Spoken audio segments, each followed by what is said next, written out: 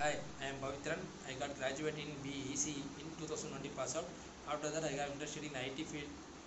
So I, I will know about the QSpiders Institute in Chennai.